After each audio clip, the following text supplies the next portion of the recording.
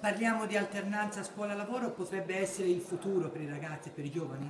Deve essere il futuro, abbiamo un 44% di disoccupazione giovanile, nel 2008 era sotto il 20%, abbiamo abbandoni scolastici nei tecnici e professionali, cioè le scuole che dovrebbero mettere più a contatto il mondo lavoro pari al 20-25% e in questo paese da alcuni anni, da 5-6 anni, abbiamo circa un milione e mezzo, due milioni di cosiddetti net, cioè i ragazzi che hanno finito di studiare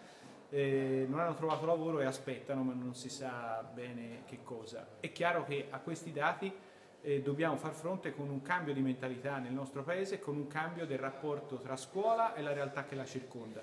e quindi anche tra scuola e mondo del lavoro. Non dobbiamo aver paura, non svendiamo la scuola alle aziende, non vogliamo dare lavoratori gratuiti agli artigiani o al mondo del turismo, vogliamo solo far dialogare scuola e mondo del lavoro ed è scuola a tutti gli effetti. La scuola italiano, storia, matematica e geografia, i ragazzi lo sanno benissimo, è la scuola della conoscenza, del sapere, ma è anche, e questa è la novità della riforma della scuola, è anche competenza, è anche saper fare, è anche, come dicono i ragazzi, in un gergo tutto loro, mettere le mani in pasta. Questo chiede la scuola, il mondo della scuola, gli insegnanti, i dirigenti scolastici, questo chiedono i ragazzi e questo chiede anche il mondo eh, del lavoro anche del, del luogo. Nel Valdarno viene stimato che il 35% delle aziende cercano oggi lavoratori con alcune qualifiche professionali,